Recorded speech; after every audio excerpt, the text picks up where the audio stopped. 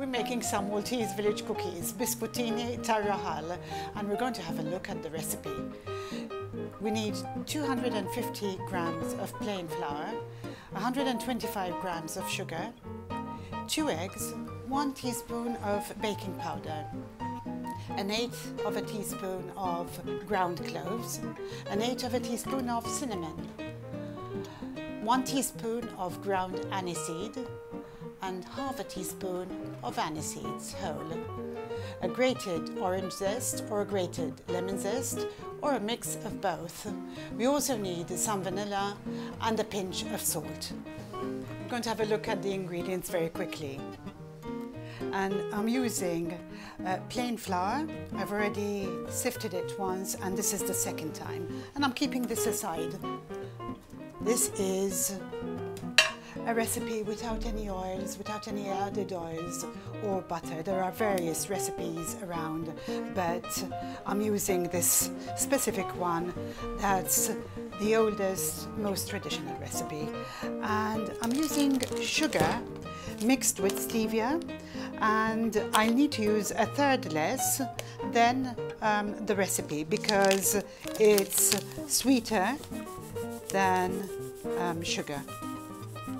We need the equivalent of 125 grams. And to that, I'm adding two eggs.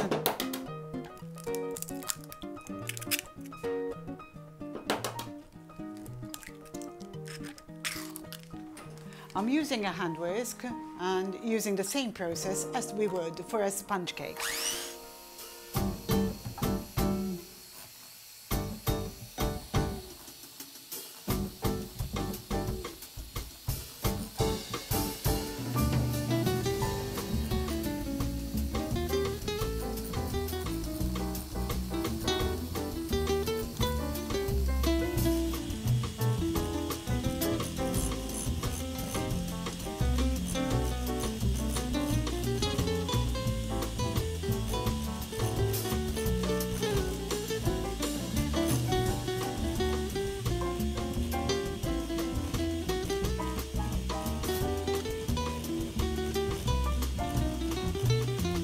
Mixture appears white and quite airy and thicker in texture, I'm going to stop whisking. And I'm going to have a look at the rest of our ingredients. I'm going to add a pinch of salt. I'm also going to add um, some baking powder, some vanilla, some whole aniseed, some aniseed powder, and some citrus. I'm using lemon today. And that would be the rest of our recipe. So I'm adding the salt, baking powder, my seeds, and some cloves. I'm also going to add some anise seeds. I'm also adding some cinnamon powder.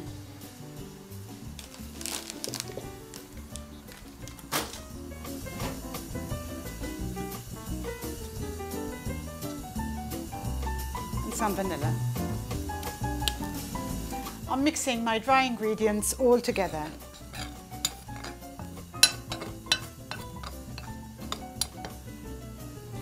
And now I'm taking my dry ingredients and mixing them with our egg mixture. I'm using my whisk again to incorporate our dry ingredients into the egg mixture.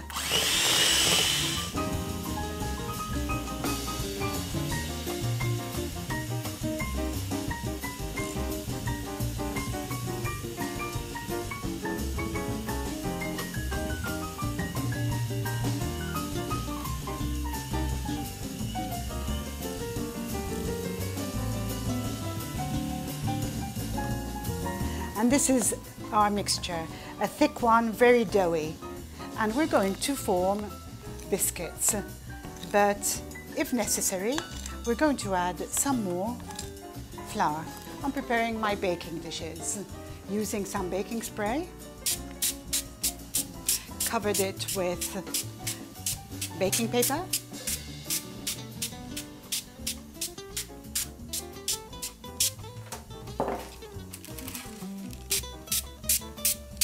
And from this recipe we should have about 20 small biscuits or about 10 larger ones. I'm going to pick pieces of my dough and rolling them into an oval shape and dusting them with a bit of flour. This is the same recipe as the Maltese christening biscuits. The only difference is that the christening biscuits have either pink or blue icing on the top. And they're usually round too. It's best to leave some space between one and the other because they do grow and rise a bit.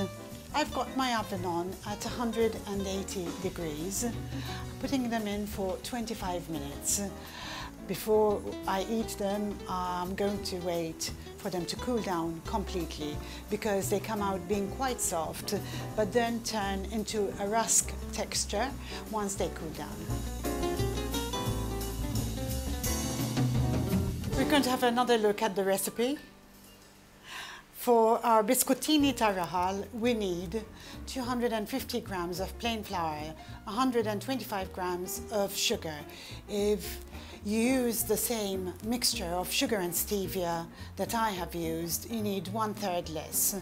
Two eggs, one teaspoon of baking powder, an eighth of a teaspoon of ground cloves, an eighth of a teaspoon of ground cinnamon, a teaspoon of ground aniseed, in Maltese anisetta, half a teaspoon of whole aniseeds, some grated citrus zest, some vanilla and a pinch of salt.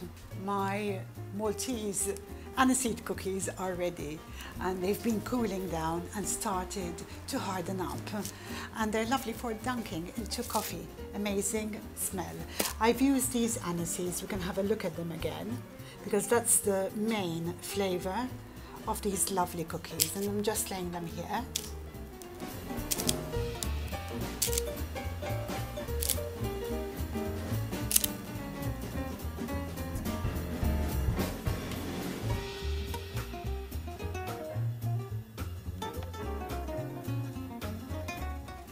and I hope you'll try out my recipes. Watch out for more Maltese recipes on Smash TV.